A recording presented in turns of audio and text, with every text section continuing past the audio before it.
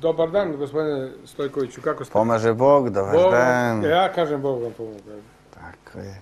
Tako Bog Gospodin Miloš Stojković, naš e, verski analitičar. Teolog i verski analitičar. Teolog, naravno, to se podrazumeva, ali ja sam namjerno to istakao verski analitičar, zato ćemo danas malo da analiziramo neke pojmove, neke stvari koje su u našem narodu poznate kao post, veliki ili mali, već kakav god, ali post kao pojam, post kao filozofija. Šta je post? Post nije filozofija, post je pojam i to je, to on postoji od ranih, iz ranih, dakle, hrišćanskih vremena potiče. Nikako ne može biti filozofija. Filozofija i teologija jesu slične i kao nauke, ali teologija i Hristova istina je naš put, naša istina, naš život.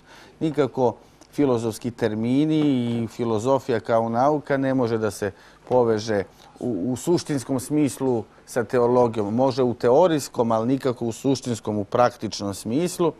Post, dakle, datira iz ranih vremena i nije samo jedan. Postoje jednodnevni postovi, to su sreda i petak i četiri velika e, godišnja posta u toku godine. Jedan u kome se već nalazimo jeste Božićni post. On traje 40 dana uvek, tradicionalno od kraja novembra, od 28. novembra pa do 7. januara kada proslavljamo Božić po starom kalendaru.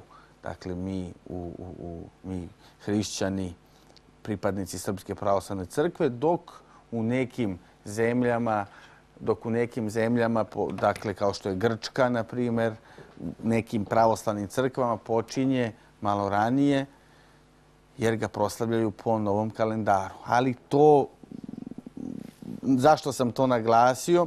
Zato što ovaj, dok sam dolazio za ovu emisiju dobio sam poziv gdje me jedna e, moja draga prijateljica pita zašto mi slavimo dakle Božić 7. januara, a neki drugi 15 dana pre nas. Ja moram da kažem da kalendar, i to je dobro da čuju naši gledalci, zašto smo, dakle, jer to je za, za gledalce i uopšte za narod malo možda čudnovato, svi smo pravoslavni, i mi, i Grci, i Bugari, i mnogi drugi, ali i Rusi, ali neki slavimo po novom kalendaru Božić, neki po starom kalendaru.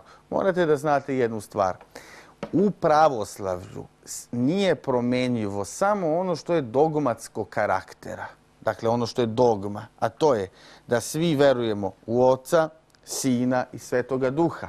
Zato ova tri prsta, pogledajte, dragi gledoci, dakle, Otac, Sin i Sveti Duh. Ova dva prsta ovdje ne držimo slučajno tako, nego ih držimo zato što Hristos, a to je drugo lice Svete Trojice, dakle Sin Boži, je i Bog i čovek. Ima božansku i čovečansku prirodu. Otuda ova dva prsta. Jer Bog Otac je onaj koji, je stvorio svet u šest dana, sedmi dan, nedelju nam je dao kao odmor. A Bog, dakle naš tvorac, šalje svoga sina, to je drugo lice Svete Trojice, koji postaje i čovek. Dakle, to je koji dobija i čovečansku prirodu pored božanske prirode. Dakle, to je Hristos koji dolazi na zemlju i sam Hristos kaže ko je video mene, video je i oca moga. Dakle, to je odgovor ljudima koji kažu nema Boga, mi ga nikada nismo vidjeli. To je neistina. Boga su ljudi vidjeli kroz Sina Božijega Hrista koji je došao na sve, u svet, koji je živo, isto kao i svi mi, baš u postu, u molitvi, u najvećem postu je živo Hristos. Dakle, otuda i post. Znači, on je došao i ko je video Hrista, a vidjeli su ga mnogi, vidjeli su ga apostoli, vidjeli su ga ljudi tog vremena, on je nama kazao kako trebamo nastaviti da živimo, dakle video je i Boga.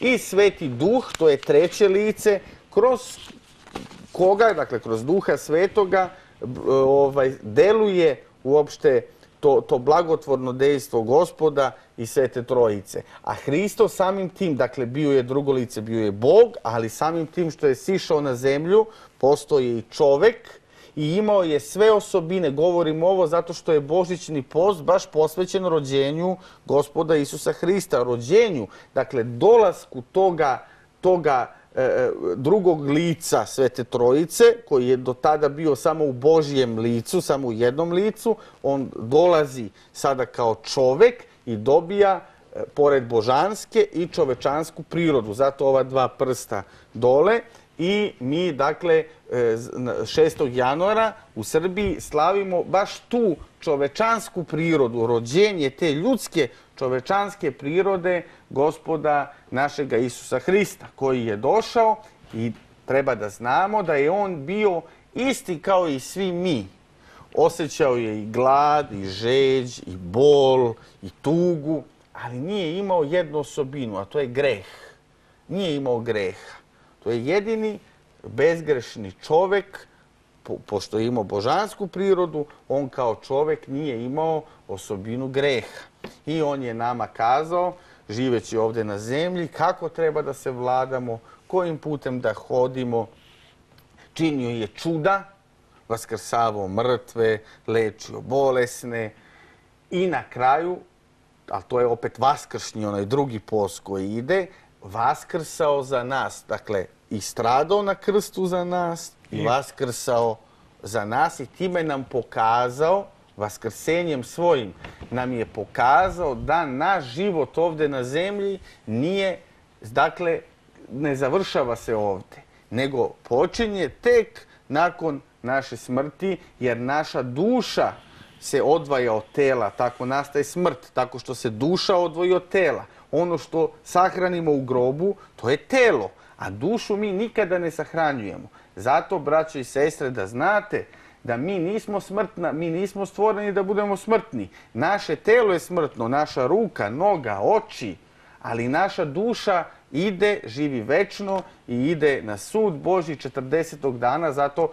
postoji 40-dnevni pomen kada se neko upokoji pa stavljamo 40 dana. Ali cela, ali cela suština je u tome, vidite, dakle, božićni pa vaskršnji post. Bez rođenja Hristovog ne bi bilo ni vaskrsenja. Zato je ovaj božićni post u kome se nalazimo vrlo važan jer proslavljamo rođenje Boga, tog bogomladenca Hrista, koji nam je pokazao i kako da živimo i kako da se vladamo i kojim putem da idemo i zato ga trebamo, dakle traje 40 dana do 6. januara, ali ono što želim da završim jeste da ne osuđujemo one ljude, ni na koji način, koji slave Božić i 15 dana pre, zato što Božić e, ne Božić, nego kalendar generalno, nije dogmatskog karaktera. Ovo ne smemo da promenimo, da verujemo u Oca, Sina i Duha Svetoga, da je Hristos i Bog i čovek, to je dogma. A kalendari nisu dogmatskog karaktera. Hristos nije rođen ni 7. januara, ni 25. decembra. Mi slavimo toga dana, dakle, njegovo rođenje, tako što ga je crkva uspostavila, a pošto nije dogmatskog karaktera, ne može se smatrati da oni ljudi koji slave po novom kalendaru nisu u pravu.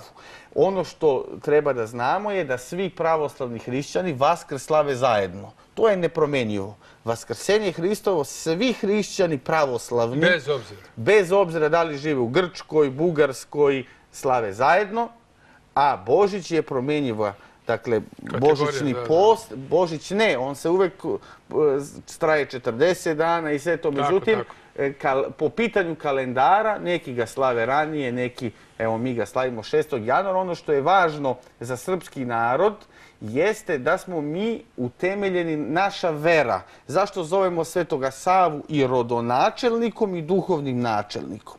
Dakle, ne samo duhovnim vođom, najvećim i najsvetlijim, srpskim, nego i rodonačelnikom.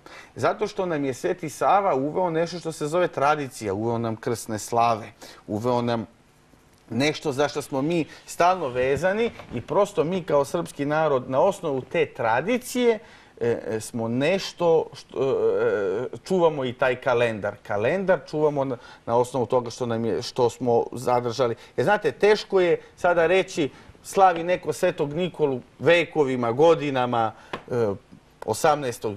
i 19. decembra.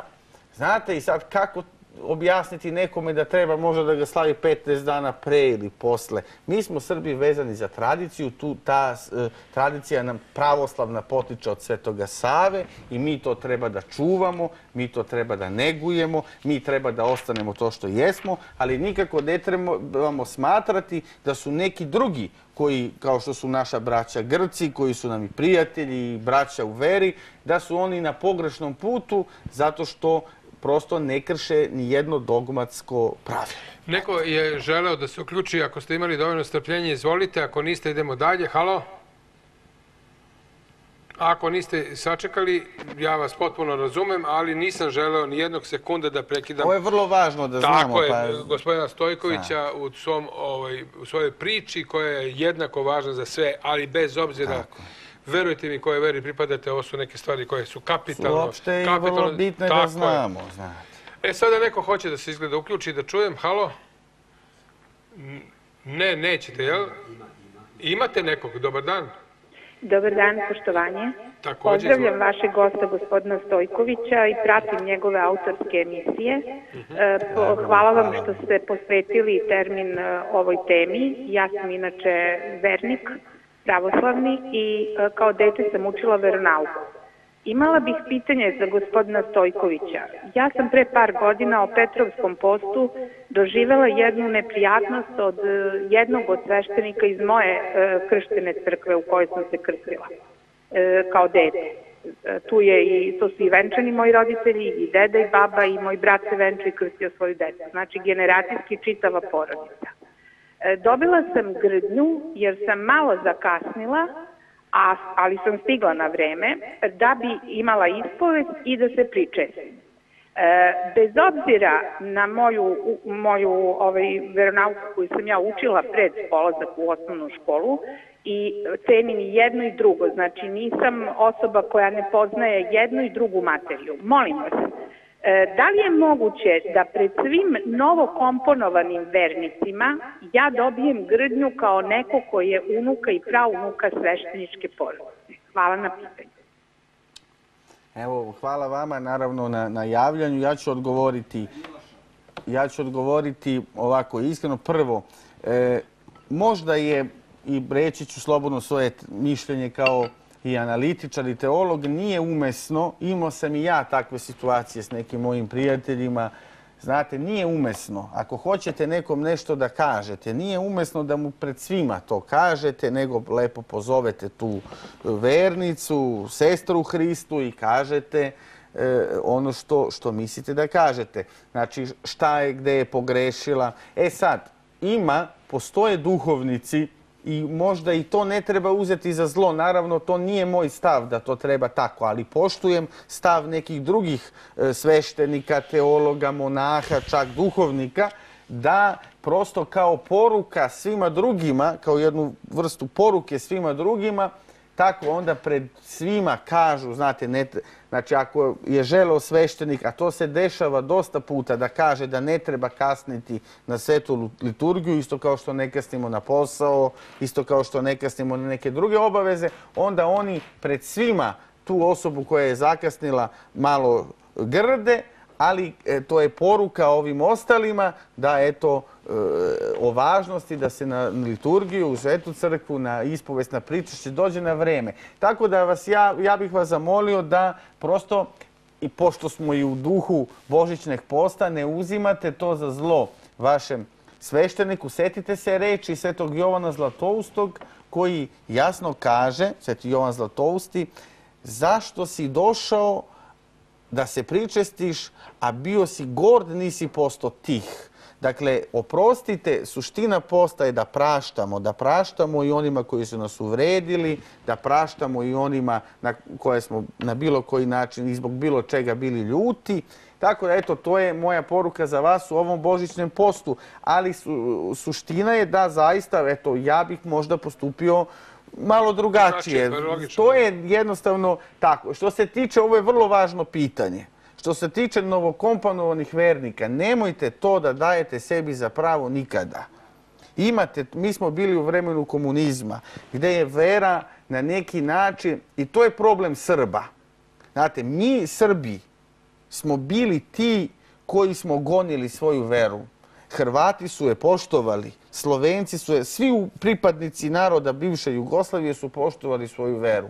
A mi, dakle, Srbi, predstavnici komunističkog režima su rušili crkve. Srbi ruše srpske crkve. I to je činjenica. I zato nam je ovo stradanje, možda sve ovo stradanje koje doživljavamo, trebamo i u tome da vidimo. Ali nemojte nikada da kažete novokomponovani. Da, novokomponovani. Možda se taj, niko ne zna da li je taj čovek u duši se promenio, da li se pokajao. Uzmite primjer, ko je prvi čovjek u raju nakon vaskrsenja, nakon Hristovog smrti, nakon vaskrsenja? Čovjek koji ga je razapeo na krstu.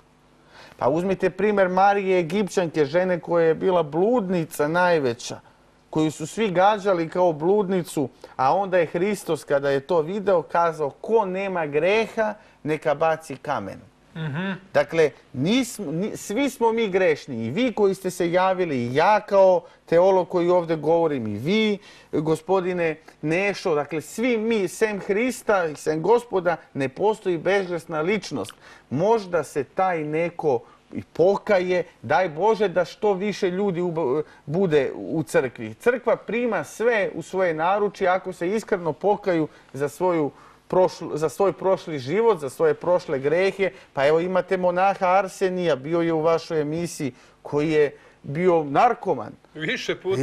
razume? više puta dakle, bio emisiji. Nemojte da, da, da generalizujemo to, a poštujem dakle i to da treba, da treba Kaže gospod, više se raduje za onu zabludelu ovcu koja je došla u stado nego za neku koja je već tu. Hvala Bogu da je tu. Tako da i vi trebate da misionarite, da, da svojom verom šireći je, i druge ljude privolite koji nisu verovali ili su radili druge stvari u prošlosti da postanu E, hrišćani i da dobiju nadu na spasenje i život večni. Ja sam ovaj, primetio da je gospođa rekla da redovno prati autorske emisije našega, ne mogu da kažem gosta, domaćina, gospodina Stojkovića, a evo, meni je drago zbog toga što je naš e, direktor, e, gospodin Bašanović, imao dovoljno sluka bio dovoljno veliki šmeker, ako tako mogu da kažem, pa je osjetio svu moć i svu značaj onoga što pričate kroz vaše autorske emisije, pa evo i sada,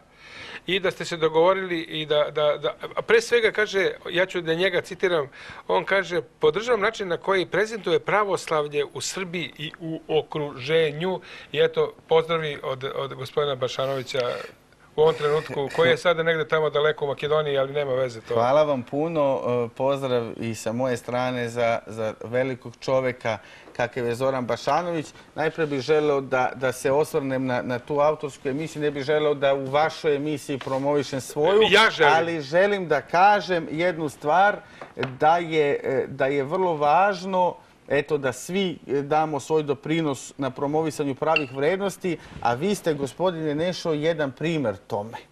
E. Zaista ste jedan primjer tome i po svojoj otvorenosti i po svom iskustvu i po svojoj ljubavi prema srpstvu i pravoslavlju i prema svim ljudima. To je, dakle, vi ste jedan primjer iskustva i novinarstva. Možda bih mnogo toga mogao da naučim od vas, kao što sam i učio gostujući u vašim emisijama, ali, ali, ali želim da pozdravim još jednom gospodina Bašanovića koji je zaista čovjek Prvo, živio sam dugo u Grčkoj. Mhm. Izuzetno je važno da u Srbiji imamo ostvarene ljude, dakle u, svojim profesijama, u svojim strukama, u svojim životima. Ne ljude koji se često u Srbiji ostvaruju kroz politiku. Gospodin Bašanović e, nikada se nije ostvario kroz politiku da izgradi svoju ličnost, nego je već kao izgrađena ličnost uvek i kao uspešan čovjek u svom poslu, kao nezavistan čovjek, uvijek težio ka pravim vrednostima koji e, donose boljitak našoj zemlji i našem narodu i zato sam i prihvatio e, njegov poziv da eto budem na neki način deo E, sedeli smo, razgovarali kako možemo e, još dodatno da eto te istinske vrednosti e, promovišemo na televiziji istine kakva je naša televizija. I jedno, onda smo se dogovorili da pored jedne emisije kao što je vaša i koja je veoma gledana, da eto imamo još neke gdje ćemo promovisati te istinske vrednosti za Srbiju i za srpski narod. Hvala njemu na toj prilici i eto na ovom, ovom pozdravu. I ja njemu želim, ja njemu želim da istraje u toj svojoj nameri i da naša televizija još dugo promoviše istinske vrednosti u našoj zemlji i okruženju. Ovo je interaktivna emisija, naši gledalci jednako učestvuju kao nas dvojica u celoj ovoj priči, imaju pravo na sobstveno mišljenje, naravno bez, samo uz jedan mali uslov, bez vređenja bilo koga i naravno biramo reči, jer ovo gledaju i deca i to je dobro. I zato vi sada izvolite, halo. Halo. Izvolite. Ovaj, htjela bih da pitam, želim da vas pozdravim. Drago mi je što je ta emisija. Halo. Da, da, slušamo vas. Slušamo vas. I baš mi je drago što je to postoji u toj veri. Htjela bih da pitam da se mora prva sedmica postiti na vodi. Odakle zovete? Iz Beograda. Iz Beograda. Dakle, pitate da li se... E, sad ovako, ajmo ovako. Da odgovorimo samo na pitanje. Pa ja bih, ja bih to odgovorio, ali bih ja u sklopu tog odgovora malo ušao u tu, konkretno u tu priču šta, i kako, kako da se vernik ponaša, eto, to je možda pravo. Evo ovako, kako da se, možda smo, da, da zakoračimo u suštinu naše današnje teme. Tako je. Ono što je važno jeste, kada postimo, da post, to je vrlo, vrlo važno i želim da bude poruka za sve naše gledalce. Dakle, ako postimo, nemojte da držimo dijetu. Dajte da postimo i duhovno i telesno. Jer post, samo telesni post hranom nije ništa drugo do mrcvarenje svoga tela ili radi zdravlja držanje dijete. Suština posta je i u duhovnom i u telesnom postu. Dakle, kao što postimo hranom svakog dana i važno je da prvu nedelju, barem tri dana pred post, postimo na vodi. Možda ne celu ako je u pitanju bolesna osoba ili stara, ali ili ima neke radne obaveze, ali tri dana pred pričešće važno je da se ovaj posti na vodi. Ali šta je još važno? Možete vi da postite i 40 dana na vodi. To vam ništa ne vredi ukoliko se sa svojim bratom svađate, ukoliko ne praštate, ukoliko mrzite, ukoliko se srdite, ukoliko se duhovno vašu dušu ne, ne čistite. Šta kaže sveti Jovan Zlatoust? Zašto mučiš ovim rečima, to su reči Jovana Zlatoust, zašto mučiš svoje telo ako dušu ne pročistiš tokom posta? Dakle, vi imate ljude koji poste 40, ja, ću, e, ja neću govoriti sada teološki, teorijski, nego praktično. Praktično. A praktično znači da imate ljude koji kažu da ja postim svaki dan, ja sam pomogao crkvu, ja sam ovo ono, idem svaki dan u crkvu, ali vara svoju suprugu, vrši preljub, taj čovjek uzalud posti. Pa imate ljude, ja poznajem ljude koji poste, i ali se sude na sudu sa svojim rođenim bratom ili sa svojim komšom za parče zemlje, za parče svega. Uzalud poste. Poste, ali se opijaju. Poste, ali psuju, vređaju svoga, svoga, svoga prijatelja. Taj post nema smisla. Dakle, šta hoću da kažem? Telesni post nema nikakvog smisla ukoliko ga ne prati i duhovni post. Samo ta celina ima suštinu i mi suštinski pravilno postimo. Što znači da u postu treba da postimo na vodi najmanje tri dana pred priče, da li je prva nedelja ili posljednja, nebitno je, i u prvoj i u posljednjoj. Trebamo se obavezno ispovedati pred, pred, u toku posta i pred pričešće. Ne može čovjek da se pričesti ili da posti ako se ne ispoveda. Ne može čovjek koji je žena koja je izvršila abortus da se pričešćuje. To je, to je činjenica ljudi. Ali to verovatno u našem narodu, bar po nekom mom shvatanju jer sam stalno u kontaktu sa ljudima, ljudi to i ne znaju. Znate, ne može neko ko, ko se svađa sa svojim bratom da dođe da se pričesti, makar postio i, i, i 50 dana. Znate, to je, to je suština priče. Isto tako, ljudi pitaju da li da postimo prvu nedelju i zadnju, ili, znači, važno je da postimo čitav post. Znači, ako traje 40 dana, da ga postimo 40 dana. Ali ponavljam, i telesnom hranom i duhovno. Jer znate, ako postite prvu i posljednju nedelju, na primjer, kako radi velika većina ljudi, to je isto kao kad dođete kolima na, na primjer, dođete do jednog mosta i most postoji do, do pola, a od pola nema mosta. I onda upadnemo. E, tako je u duhovnom smislu. Znači, ako postimo jednu nedelju, pa onda mrsimo sve one ostale, nema suštinu, gubi, gubi smisao. 40 dana božićnog posta, kao i svakog drugog posta, ali ajde da se usmerimo na, na božićnem postu. Evo da vam dam primjer.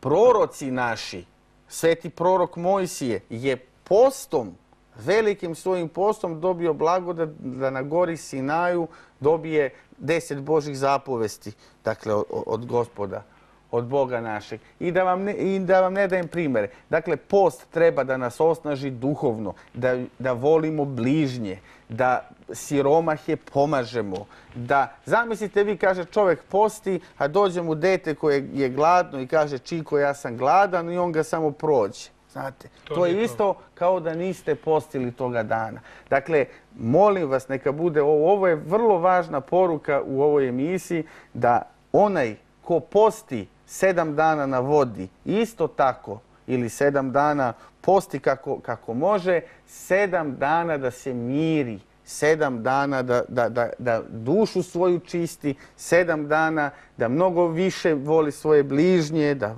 da svoju dušu ukrepi. Bez toga, nemoj, bez toga on samo drži dijetu. Nemačka, izvolite, halo, dobar dan. Dobar dan želim. Poštovanje. Pa mogu li ja dobiti jednu reč? Ovo je vaš prijatelj mnogo priča. I treba Dobro. da priča. Izvinite ako smo vas... Vi ste... Ja želim, ja se javim iz Nemačke. Dobro. I šta kažete? Ajte sada. Ja. Slušamo vas sada, šta je sad? Ja bih hteo samo da pitam dva, tri pitanja, kratko. Pa ajte. Prvo pitanje je da, da li ima popova ateista? Drugo, Popovi da li je gospodin rođen sa verom ili bez vere? A treće, da li bi kod nas bio građanski rat da smo bili svi iste vere? Hvala, odgovorite mi na ta tri pitanja. Sa zadovoljstvom. Građanski rat ako smo svi iste vere. Da li bi bio građanski rat? Ne, ajmo prvo. Ajmo Šta je bilo prvo pitanje? Da ste vi rođeni kao ateist? Ne, ne, prvo pitanje da li ima popova. A da, da li ima popova? To je bilo. Pazite ovako, ima sveštenika kao što ima lekara koji nesavjesno vrše svoj posao, kao što ima učitelja koji nesavjesno vrše svoj posao, kao što ima novinara, gospodine Nešo, koji nesavjesno vrše svoj posao. Sigurno, sigurno da ima i sveštenika, gospodin koji postavlja ovo pitanje, treba da zna da je crkva živi organizam, da popovi nisu anđeli, nego ljudi.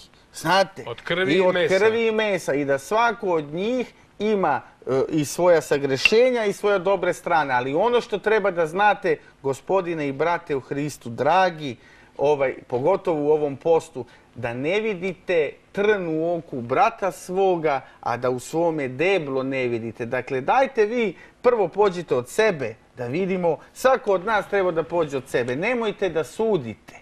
Zašto sada, pa post nije zato da bi sudili jedni drugima, ti si ovakav, ja sam ovakav. Ajde da baš, postavili ste ovdje pitanje da li bi bilo građanskog rata. Da su svi da su, Ja vam kažem, jer neka vam ovaj post bude odgovor. Hajde da pođemo od sebe. Pa vaše pitanje je možda i suviše pristrasno. Hajde da, da pođemo, da se svi mirimo u ovom postu, da svi oprostimo. Pa ako oprostimo, ako se kajemo za svoja sagrešenja, neće doći ni do ratova, ni do sukoba, ni do svađa, ni do bilo čega. Bez tu vam je, na veru. Tu vam je odgovor. A ja sam, e, e, ja, da li sam ja rođen, niko se ne rađa kao pravoslavac. pravoslavlje se podrazumeva i kroz našu porodicu, i kroz naš život. Dakle, ja sam kršten hvala Bogu, od strane svojih roditelja i sveštenika na srpskom Kosovu i Metohiji kao pravoslavni vernik. Trudim se grešan, e, možda sam i grešniji od vas, možda sam i e, grešniji od svih naših gledalca, ali e, to ni na koji način ne može da, da me spreči u tome da govorim ono što sam učio, a to je da svedočimo Hristovu istinu i pravoslavlje na svakom koraku srazmerno okolnostima i vremenu u kome se nalazimo, u kome živimo. Ja vas molim e, da, da idemo dalje kroz ovu priču. Pa da, evo, evo ja, ja ću samo ovako, ovo sam nešto sažeo, ali imamo, imamo naše gledalce, neka oni imaju prednost. ajde vi, ajte vi, ajte vi. Da odgovaramo na pitanja, dobro Pa nego šta, dobro je, hvala Bogu. Izvolite. E, dobar dan. Dobar dan. Ja bih htjela da pozdravim prvenstveno vaše goste ovom prilikom Nešava posle vas. Hvala vama puno na tome. I htjela bih da pitam vaše gosta, e, pošto sam ja pravoslavni vernik, E sada, ja imam jedno pitanje samo za njega. Ja sam e, bolovala od raka i nisam postila. E sad me samo zanima, kad smo bili u bolnicu, nas su popovi pričešćivali iako nismo postili. Međutim, ja na to nisam htjela da pristanem jer nisam postila. I sada ne postim, ali bih htjela samo da pitam vašeg gosta da li sam ja sada, eh, mislim, pošto ne postim, da li ja nisam vernik, iako idem u crkvu, iako sam krštena i to pod ostrogom, ali ja idem u crkvu kad, i kad je post i kad nije post, znači sve praznike poštujem i Božić i Vaskrs, znači sve po protokolu. Hvala vama puno na ovoj iskrenosti i na priči. Vrlo je važno da odgovorimo jer je tu jedna, jedna poruka isto vezana za post. Slava i milost, slava mu i milost. Dakle, Svetom Vasiliju Ostroškom veliki je dar i blagodat da ste tamo kršteni. Vidite ovako, u postu to što, to što ste vi bolesni, da će Bog da se, da se iscelite. Ako ne koristite hemoterapiju, ja bih vas pozvao da koristite kao pomoć vašem lečenju i hilandarski kozlac. To je jedan lek e, koji prave dakle, monasi manastira Hilandar i koji se tamo nabavlja možete da ga dobijete preko naše televizije. Samo da zamolim režiju Hilandar, vidi, piše vam 8 i 9, slobodno dok pričamo o Hilandaru, da gledamo te divne stike uz divnu muziku, a nastavite gospodine Stojkoviću. A što se, tiče, što se tiče posta, vrlo je važno da znate, ne puste isto ljudi koji su bolesni i ljudi koji, koji su zdravi, koji nemaju nikakav zdravstveni problem. Dakle, šta se deša? Takozvana ekonomija se to zove u crkvenom smislu. Ako je neko bolesan ili ako je neko trudnica ili ako ima neki, kažem, drugi zdravstveni problem, on e, ima blagoslov da proba i mleko, i sir, i sve ono što ga, što ga telesno, telesno okrepljuje, jer to ne radi namerno, ne svojom voljom, nego i gospod kada, kada nam podari bolest, to je od Boga. Bog želi da vidi koliko smo mi istrajni, koliko verujemo u njega, da bi nam podario isceljenje, izlečenje, tako da vi u svakom slučaju možete i ispravno je to što su radili vama i ispravno je i što vi po savesti svojoj, jer Bog nam je dao slobodu, znate. Mi nismo stvoreni kao, kao sektaška bića, kao što sekte rade pa nas zatvaraju. Mi smo stvoreni kao slobodna bića. I gospod nas je tako stvorio. Vi po svojoj slobodnoj volji niste željeli da se pričastite i to nemojte da smatrate grehom vašim. Ni na koji način. Ali znajte da imate pravo, jak, pošto ste u bolesti, da iako ne pustite, da se pričešćujete. Znači, Jer nije, naravno, svešten, to je blagoslov takav, sveštenik može da da blagoslov ili duhovnik ili sveštenik koji e, vas ispoveda, on može da vam da blagoslov razmorno vašoj bolesti, da se ispovedite, pričestite i to nije redka situacija. To se, kažem, da i trudnicama koje donose na plod jedan, na svet jedan novi život, pa onda koriste mleko e, mlečne proizvode, zarad boljeg mleka sutra za bebu i tako. To tako i bolesnici, da bi e, telo očvrsnilo, jer ne zaboravite, duša je sazdana, to jest život čovekovi je sazdan od duše i tela. Brinemo se i o duši, molitvom, dobrim delima, a brinemo se i o telu, tako što eto ga hranimo, pogotovo u bolesti. Ništa nisu ni sveštenici na pogrešnom putu što su vas savjetovali, a ni vi što ste po vašoj savesti i ja vas pozivam da i dalje po savesti vašoj tako postupate kako mislite da treba. Nekoliko puta ste rekli savest, po savesti. Naravno, zato što nam je gospod dao slobodu. Znate, kažu ljudi pa sudbina je ovo, pa sudbina je ono. Ne, Gospod nam je dao slobodu da mi izaberemo, a gospod blagoslovi onaj naš izbor. Niko ne nije sudbina čoveku da postane narkoman. Jel ima sudbine? Pa to je, ja bi, ja bi tu reč sudbina nazvao Božje dopuštenje. Aha. Božje dopuštenje i ono što Bog za nas ima u vidu, ali Bože dopuštenje ne može se nazvati sudbinom to što ste vi, na primjer, narkoma. Ne može se svaka situacija u životu nazvati sudbinom. Znate, jer postoji slobodna volja. Mi smo nešto hteli da uradimo, pa smo uvidjeli da to nije tako, pa smo se obratili Bogu. Ono što treba da znamo da su ruke Božje širom dakle, raširene i otvorene za svako biće ljudsko sve do svoje smrti. Pa čak i na samrtničkoj postelji imamo priliku da se pokajemo e, za ono što smo radili i da se vratimo Bogu. Eto, to je nešto Divno pričate, gospodine Stojkoviću, dakle, e, divno pričate, ja sam počestovan što, eto, lepo ste rekli, Možda treba, čovjek treba, ponekad treba da osjeti trenutak da ćute. Da Uvijek treba da pođemo od sebe, ja da ne vidimo trnu oku brata svoga. To je poruka posta.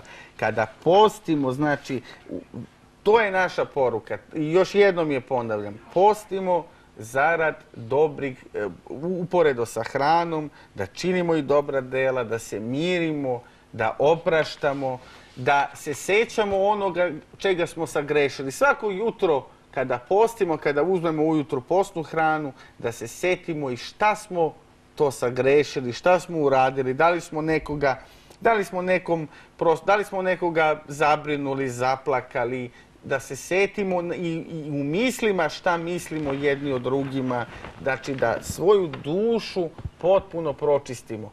Jer daću vam jedan primjer, ja sam ovaj, imao tu situaciju na Kosovu i Metohiji, bio je muslimanski praznik se dogodio baš u, vremenu pravoslavnog posta. I sada dolazi čovjek, ja postim, dolazi čovjek muslimanske veroisposti iz poštovanja prema onome u što on veruje, znate, donosi jednu bombonjeru da počasti sve tu prisutne, ovaj, da bi ispoštovao. On ne zna da je naš post. Ja sam uzeo parče šokolade tada, naravno, parče bombonjere da bi ispošto, jer Bog je ljubav. Neće nas spasiti parče mesa ako nas ne spasi parče ljubavi, parče poštovanja. Nastavite normalno, ja sam nastavio normalno da postim nakon tog minuta, ali iz ljubavi, jer ljubav, nikada parče ljubavi ne smije da bude naspram parčeta poštovanja i ljubavi prema čoveku, prema biću, tom bogolikom biću kakav je, kakav je čovek. Evo, neko u tom smislu želi da se javi. Izvolite, halo. Halo. Dobar dan. Poštovanje, nešto hvala za gospodina Stojkovića, čiju emisiju jako sa pažnjom pratim. Ja ne postim, ali na svu sreću imam dobrog paroha koji mi dolazi u kuću i uvek pustim suzu jer se osjećam grešno zato što ne postim. Mhm. Jer mi ne pruža mogućnost. Još jedno, eh, ja palim sveće u kući za zdravlje i za svoje pretke. Ne umem da mrzim i umem da praštam. Paroh mi je rekao da je to dobro, a da ne moram da postim i zato ne idem u crkvu da primim blagoslov onaj koji je potreban, a krštena sam krijući u kući zbog toga što nam je bilo zabranjeno odlazak u crkvu čija su deca bila komunistička. Mhm. Iako smo slavili i sve, moj otac nije smeo da prisustvuje zato što bi ga tamo optužili i ostao bi bez posla. Muslimani su mi pomogli kad sam izgubila majku da stignem na sahranu i ja sam svim verama zahvalna i sve poštujem. Molim Nešo, ponovo gospodina Stojkovića, da nas malo uči i opusti. Ja ću zamoliti gospodina Stojkovića da ovo bude samo prvi deo ove priče i da se u narednih nekoliko dana svakako ponovo vidimo jer smo taman zagrebali ovaj, jednu materiju koja je mnogo šira nego što smo danas uspeli. Koliko imamo vremena još? Još imamo pet minuta. Za pet minuta ja ću sada da... Ne, moram samo da odgovorim. Zato vam kažem, pet minuta do kraja ovog, izdanja. Ovo je samo da sportski kažemo prvo poluvreme, a za drugo ćemo se dogovoriti. a vi ćete blagovremeno saznate preko društvenih društvenih mreža već kako to ide. Sa velikim zadovoljstvom želim da odgovorim e, ovoj, našoj dragoj sestri u Hristu, dragoj gospođi i da je zamolim, e, e, opet kažem, ne namećući bilo kakvo svoje mišljenje njoj, molim vas, potrudite se kad god možete da, da, eto, ako ne sada, u nekom u narednom periodu, isto i hranom da postite, ovaj, da se pričestite, ali potrudite se ako možete. Da će Bog pa svi zajedno se skupimo, pomognemo da ako vam zdravlje dozvoljava, znači ako vam zdravlje dozvoljava, vi se potrudite da postite, a sva, e, e, ovo, ovo što drugo kažete, to je, to je isto kao da postite sa druge strane. Dakle, da ne mrzite, da poštujete, da pomažete koliko možete. Znate, i kad, kad siromahu pomognete, ako neko ko ima, to je vrlo bitno, ako neko ko ima platu od 2000 evra mesečno i pomogne siromahu, to je radosno i da mu 50 evra, znate. To je isto Bogu drago, ali ako neko ko ima penziju od 10.000 dinara, pa da siromahu 5 dinara, to je isto toliko vredno Bogu, ako ne mnogo više, mnogo vrednije, znate.